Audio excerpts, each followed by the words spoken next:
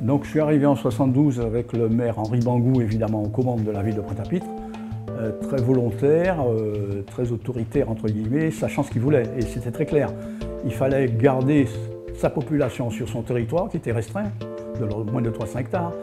Il fallait éventuellement, si possible, augmenter cette population en accueillant tous les gens qui arrivaient de, la ruralité et qui cherchaient des boulots bien mieux payés. Donc c'était un travail technique extrêmement complexe, avec évidemment la dimension sociale ou sociologique d'accueillir des gens, non seulement des travailleurs simplement, mais avec leur famille.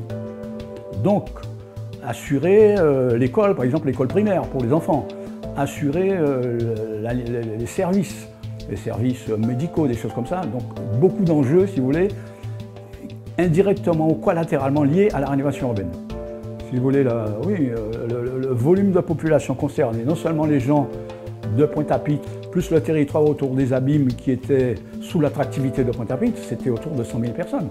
C'est-à-dire, à, l'époque, c'était énorme. Mais surtout, il n'y avait pas d'autres régions, si vous voulez, qui concentrent en Guadeloupe une telle attractivité. Mais c'était comme ça. Alors, concernant le bâti lui-même, un bâti, c'est fait à l'usage de quelqu'un, en général. Bon, et c'est là qu'on a eu des, des décalages graves au début dans la mesure d'abord où, tous les plans qui nous étaient adressés pour exécution étaient établis sur des copier-coller des logements sociaux de métropole.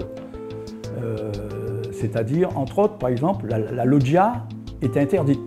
Euh, j'ai même le souvenir qu'on a eu une époque un plan où nous avions envoyé du chauffage. Donc c'est très compliqué à vivre. Mais ça, c'est exceptionnel. Mais dans la vie courante, quelqu'un qui a vécu euh, à la campagne tout le temps avec ses petites herbes à côté, son piment, etc., vous le mettez au 14e étage, mais on a vu des gens qui élevaient des lapins avec des baignoires, totalement inadaptées. La baignoire servait quelquefois de lit pour le bébé, ou alors de stockage. Les gens avaient besoin de garder cette liaison avec la nature, et c'était très compliqué pour eux. C'est-à-dire sur une génération, mais je pense que la première génération a terriblement souffert. L'adaptation à cette vie urbaine a été probablement un calvaire pour beaucoup de gens. Et ça, c'est un revers, entre guillemets, de la réalisation urbaine. Faut, pas, c'est un non-succès. Les architectes ont fini par quelquefois se dévier, se dévoyer du copier-coller, compte tenu de certaines réflexions d'ordre technique, d'abord que nous faisions, par exemple par rapport à la ventilation, à l'ensoleillement, etc. Ils ont, quand même accepté de prendre des virages et de mieux adapter la construction aux contraintes locales. En répondant localement, parce que si on attendait une réponse de Paris, ce n'était pas la peine. C'était des fois des solutions techniques, d'autres fois des solutions politiques. Le, maire Bangou a quand même beaucoup intervenu pour convaincre les gens. Euh, il a assumé son choix qui était de ne loger que des pauvres qui étaient ailleurs et qui n'étaient pas acceptés dans les communes. Donc chaque fois vous savez, gagnant-gagnant, ça n'existe pas. Quand je vous retourne la médaille, vous voyez les revers.